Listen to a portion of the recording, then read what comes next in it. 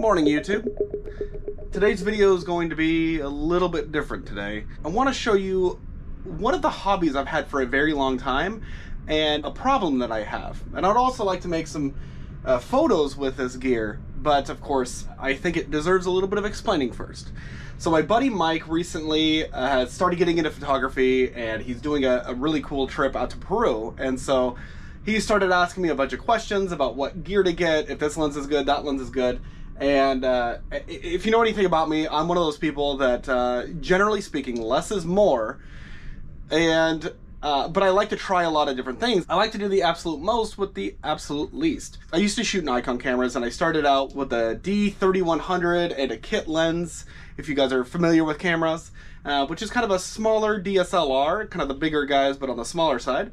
Uh, and then I got all the way up to the D610, the D810, bigger, big, beefy professional photographer uh, cameras and uh, a whole flurry of issues, right? Where um, I've had two cameras stolen, like just this, these crazy stories. But I used to shoot uh, street photography, a lot of street photography. I do a lot of um, 365 projects, which is basically that you take one photo a day for 365 days, and uh, it's a lot of development. I mean, it's a lot of personal development, it's a lot of skills development, and it'll really tell you kind of what you're interested in, um, who you are and of course you're going to improve. If you take one photo every single day you have to because obviously you're taking more than one photo to pick the best one um, it's gonna it's gonna it's gonna do a lot for you right? And and i shot weddings for a long time. I shot engagements. I got to capture a, a few really cool moments and and that was awesome. But uh, lately i've just not touched the photography thing in a long time. I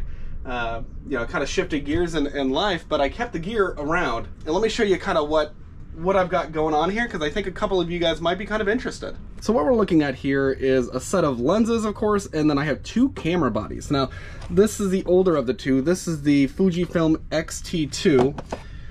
Uh, which this, I switched from Nikon to Fujifilm because I wanted something that was a lot smaller, a lot more compact. Fujifilm has fantastic image quality, uh, color rendition, especially for the size, but there's a very particular, you know, kind of Fuji color science that a lot of folks just absolutely love. And this guy here, is the Fuji X-T3 and I picked this up when Emma uh, seemed to show a little interest and I said hey well why don't you take my Fuji X-T2 you know I'll pick up an X-T3 and just from a hardware perspective of course these cameras are just well one they're beautiful. I mean look at that. Isn't that gorgeous?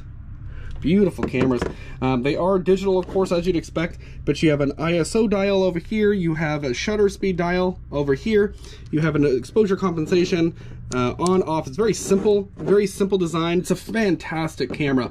Uh, but the interesting thing about these uh, APS-C sized, it's a smaller sensor than the big full frame sensor, um, the most interesting thing about them is the way that they allow you to adapt lenses, right? So right here I have the 23 millimeter Fuji lens and uh, it's a good lens. It's a sharp lens. It's uh, the equivalent of 35 millimeter lens on a full frame camera so a little bit wider and and it's a it's a lovely lens. Nothing wrong with it at all and you can see how small that is and compared to my hand I mean this is easy. It's a lot less intimidating to shoot a wedding with one of these of course uh, than the massive you know Canon or Nikon a lot of wedding photographers like Canon uh, for one reason or another but it's a little less intimidating and street photography with this is also fantastic. But if we take a look at this guy, however, this is an, a Helios 44-2, um, which is an old Soviet lens. It's, a, it's a, actually one of the most incredible lenses that you can get. And we picked it up. I picked it up for, I think, 35 bucks plus shipping on eBay a long time ago.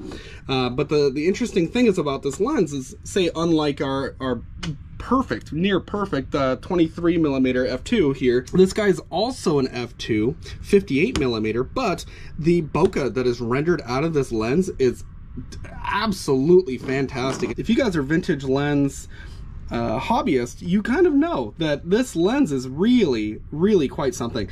The downside to it, and although you get a little bit of that interesting bokeh, the downside to it is that on the APS-C sensor, the smaller sensor, it doesn't render that bokeh quite as much, right? So you get a little bit of that interesting bokeh, but uh, it's really suited for a full frame camera. That's when this guy is really going to shine, but I still think it's an incredible lens to have on here. And of course you have a, you have a metal, a metal ring for focusing and changing your aperture. It's just, it's just a just a wonderful lens. But that's why I, have been so attracted to the Fujifilm lineup since the very beginning, and I had the X-T1 because you can actually view the the information. I mean, exactly as it's going to be. You get a digital image in the viewfinder. It's not an SLR, right? A single lens reflex. This is actually a digital image. So what you see in here is what you get. So if I change the aperture and it gets darker, you see that, uh, which is quite incredible. So uh, it, it, basically what you'd see, you know, with your iPhones and things like that. But of course, quite better. But then I have this whole collection here. So we can go with kind of my favorite two lenses, I think. This is actually the 16 millimeter Fuji. This is an f1.4. It's an incredibly wide lens. And uh, there's not much to say about it. They, it is focused by wire, which just means that you can't just manually turn it and expect it to be a one one to one basically for focus. But it does an incredible job um, on either of these cameras of, of focusing. Now, it has a metal a metal aperture ring. So when I go out and I shoot street photography with this guy, which might sound weird because street photography usually you want to be a little bit farther away, right? But um, what I'll do is I'll set this on the camera, uh, set it to about so F8 usually is where I'm at. I'll focus at infinity and uh, and then I'll put the, the strap around my neck and I'll just hold it down low. So it gives a slightly different perspective. When I get up to people, I'll kind of walk towards them a little bit and you wouldn't believe the really cool shots that I've gotten in the past because of that. Uh, particularly around Pike Place Market in Seattle because you get a lot of folks that are um, uh, more interesting to say the least. So I definitely love this lens. It's it's not the heaviest and it's not the lightest, but uh, really good. And if we get this little guy, now I've got a 23 millimeter lens on here, which is the equivalent to the 35 millimeter on a full frame. This guy is a 35 millimeter, which is equivalent to about 50 or 52 millimeters on uh, full frame. So uh, also, you know, very, very small. And that's why I picked these two lenses up because I mean, they're just, it's just, they hide away really well. Uh, they don't stick out. It doesn't look like big, big money, but these lenses, both of these lenses are a fantastic pair, I think.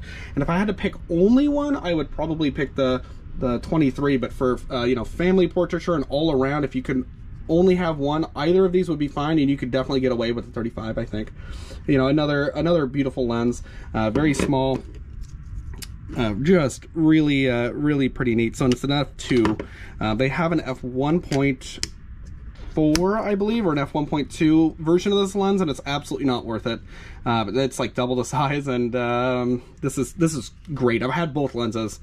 Uh, this is definitely my preference here. Now, if we come over here, this lens has an interesting story. This is a Fujifilm 56mm f1.2. This is an APD, and I got this on sale uh, usually to have a, a, a, hood, a lens hood, but uh, the interesting story about that, I asked Emma to give me this lens or grab it for me, and we were in the, we were out camping in the Capitol State Forest, uh, and she actually tossed it to me, thinking that I would, uh, I'd be able to catch it, and it fell right in the mud. It did crack the little plastic lens hood, uh, but this glass, you can see, ignore a little bit of dust. There's a little bit of dust that's going to happen, but uh, this lens is just an incredible lens, sharp as a tack, very decently quick focusing, 1.2, so really good at night.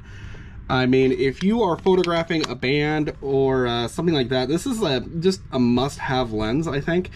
And they, they're definitely not as expensive as some of the, the nice uh, Canon glass, of course, but this lens is just incredible. It's a, it's a beautiful lens, but it's also just so dang perfect. It's got the, the coatings on it that really render color accurately, not a lot of lens flare.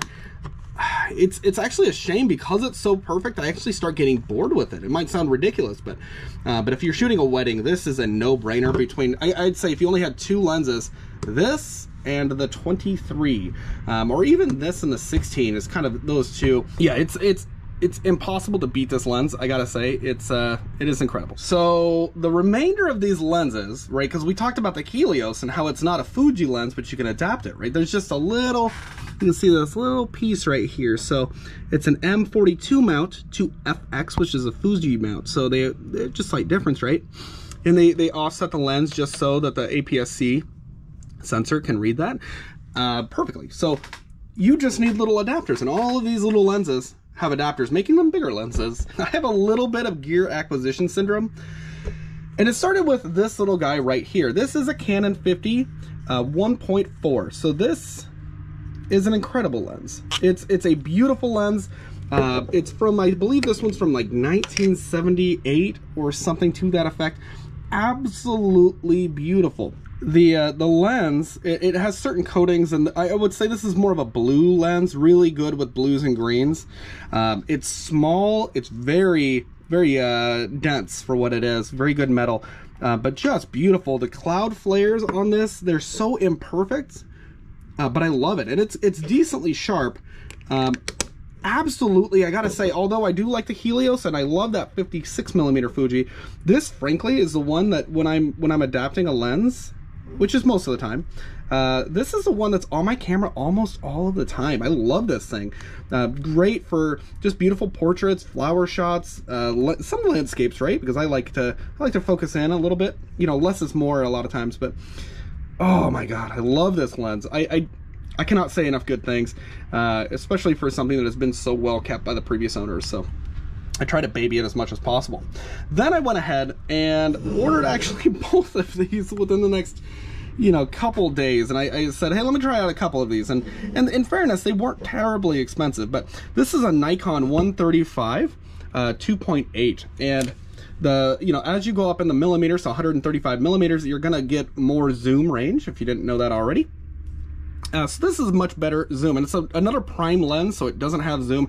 As a matter of fact, none of my lenses actually have zoom. They're all prime, and I did that so that they can be smaller, less potential issues, and they tend to be sharper.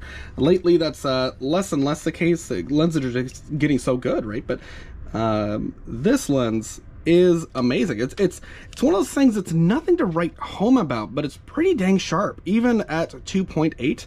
Uh, but of course, if you stop it down to uh, f5.6 or f8, of course, it's going to get even better. But um, I only use these lenses generally at you know the the, the widest aperture, so 2.8, just to give that nice, beautiful background, that bokeh there. This is amazing. I love the built-in lens hood. This guy is really good with greens and yellows, it seems, so kind of opposite of the Canon. Um, a lot of fun to shoot with. But then I got the Takumar, and it's because I didn't want to just stick with the typical brands. Ignore the Nikon lens cap, it's just what fit on there. This guy's a 2.5 135, so uh, very redundant to have both of these. Uh, but frankly, if I had to have only one, I would actually pick the Takumar. I, I, there's something about it. They're both very, very, very good. The bokeh in this guy is just, it's a tad bit better, but I wouldn't care either way. I'd be happy to have either. Uh, but luckily I have both. And I gotta say the Nikon actually gets less use than this guy. And, and, and I don't know what it is. I think this guy's a little less predictable, which, uh, you know, obviously I'd take that for a wedding, but I would take this for just shooting out and about and, and whatnot. And it's a, it's a I mean, it's a good size lens. It's, it's not quite as heavy as this guy. This guy has a little more heft. Really just a, a beautiful lens. And I believe that both of these are going to be, uh, I want to say early 90s and late 80s, if I'm not mistaken. So, uh, you know, I don't buy them specifically for their age, but it is kind of fun to know a little. These guys are the result of uh, uh, my buddy Mike. He goes, what lens should I get? Because I want to take photographs of birds. And, he goes, I want good reach, right? And, and, and of course, the first thing I think of is you want a 24 to 70, generally speaking on a full frame camera, 24 to 70 and a 7200 and, and i'm thinking okay that's pretty good right? But what can you get for what kind of money? And he he picked himself up an xt5 i believe. So the slightly newer version of this this camera and it got me interested in my my own gear again thankfully. What i had recommended to him initially i said you can buy the fujifilm version of this um, but why don't you just pick up a used guy?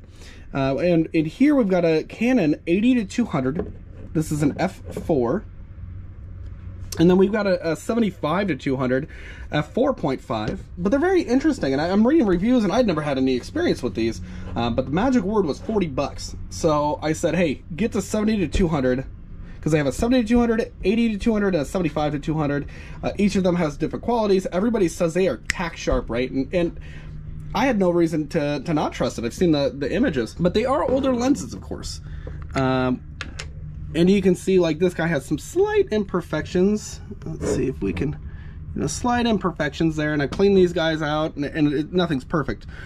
But for a, an F4 80 to 200, this is, I mean, I, I picked this one up because once once I got onto eBay, I'm a bit of an eBay holic. I'm a sucker for good deals, and it applies to camera gear more than anything else, but I had to try it. And and so I actually picked up the 75 to 200 first. And uh, this guy let's see if we can see it. This guy actually, you probably cannot see that, has a little bit of a fungus in there. Uh, and that happens with uh, some of these guys that they sit in an attic and you'll see, they kind of come out smelling like an old book.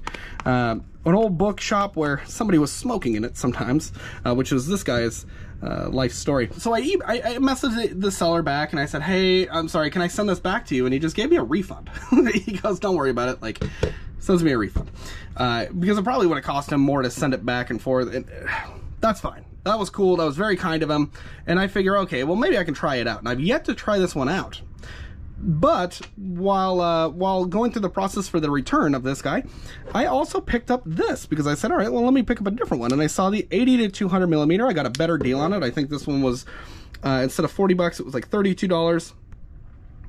And so I picked up this guy and a little, uh, I had one more adapter, which the uh, FD is the Canon FD mount. Uh, that's the style on this guy. And then FX, which is, of course, the Fuji. So I had one more of these. I popped that on there. And this lens is a little different than this guy. So where this guy's an f4.5, this guy's an f4. So uh, it's also a macro lens. I believe both of these guys should be a macro lens. I believe that this one close focus is a little bit better. But you can see the diameter of this is a little bit bigger than this because of the f4. So more, uh, more bokeh there. Uh, being an 80 to 200, I know this does close focus well enough for any of my purposes.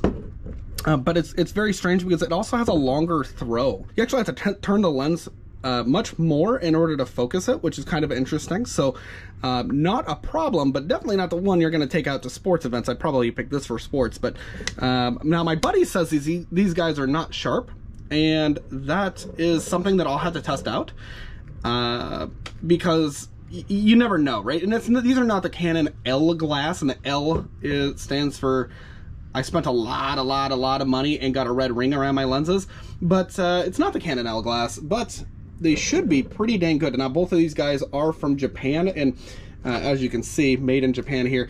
Um, the, the biggest deal with that being that Japanese lenses are better glass. It's a sharper glass, higher quality standards. The Japanese know how to make uh, or at least knew how to make really good glass in general. Uh, whereas something made in Korea, China, Taiwan, uh, those are going to be a little bit lower quality glass. And that matters, you know, if you're shooting somebody's wedding and you want to have the highest image quality possible. Um, and, and a lot of these guys uh, a lot of the Fuji lenses you're actually going to see um, are also made in Japan. This is kind of the setup, and I do have some lighting gear that I haven't touched for a long time. I'm sure the batteries are just shot on those, but this is one of those things that I would actually like to start a new project. And that new project is going to be pulling out each of these lenses, cruising around Quartzsite, and seeing kind of uh, what, what I can create photographically uh, with these, what, what, images I can get of the, uh, well, quirky creations of Quartzsite, right? Uh, one of the things that, that I think would be really cool is to create maybe a photo book someday, um, show folks that, like, you, look, you can live cheaply, you can live expensively, but uh, you can live tiny or you can live large, which for me, I consider fifth wheel living very large. But here's kind of what it looks like. There is no better place on the, you know, the western half of the U.S. that I have seen to photograph RVs than here in Quartzsite. There's such a density out here of, of really cool uh, trailers and motorhomes and uh, school buses and, and, anything, you name it. So uh, I, I, plan on going and doing a little bit of a hunt. I think that would be really neat. So that'll actually be in tomorrow's video. If you guys have any questions at all, if you're into photography and such, uh, let me know. I'd love to see it. I'd love to know your questions. I'd love you to share your own experiences. Uh, maybe you know a lens that you're like, dude, you got to get it. It's cheap which is the key because I'm not spending a lot of money on on gear, right? Uh, it's cheap and it's beautiful. It's a beautiful lens. Let me know, or don't because it might just cause problems. Don't send me an eBay link for sure. I'm really gonna shift gears in order to end this video. I found out yesterday that somebody I've known for a, a for a pretty long time, and uh, we spent a lot of time in our in our childhood together. Um, she uh, took her own life on December 12th 2022, leaving behind her husband and four children. It is a terrible, terrible thing to, to have found out. And I can only imagine what her family is going through. She lost her battle with depression. In one way or another, we all know somebody who has struggled with that. If you yourself have not struggled with that, right? There were four big things that have really gotten me out of kind of a similar place. and I know that we don't all have that. And this is something that has really kind of inspired me to uh, collect my thoughts and and share my own experiences. You know, not as necessarily a recommendation for others, but just a kind of an autobiographical story uh, in a way, because you never know who it could help. I just want to share that it's it's it's hard to hear that somebody you had known for so long, for you know, very well, um, you know, is gone and, and under these conditions, um, I think it's it's terrible, and I'm so sorry to her, you know, to her family. You know, I, I, I do know that there are resources, right? Um, there's a lot of resources out there, but I don't think personally, uh, in my experience, they're not close to enough. There's not close to enough resources out here. I think there's plenty of evidence for that. So, uh, but we can only do what we can do, and yeah, and I'm just uh, it's it's a very sad thing to hear. So, thank you for watching, guys. We'll see you in the next video.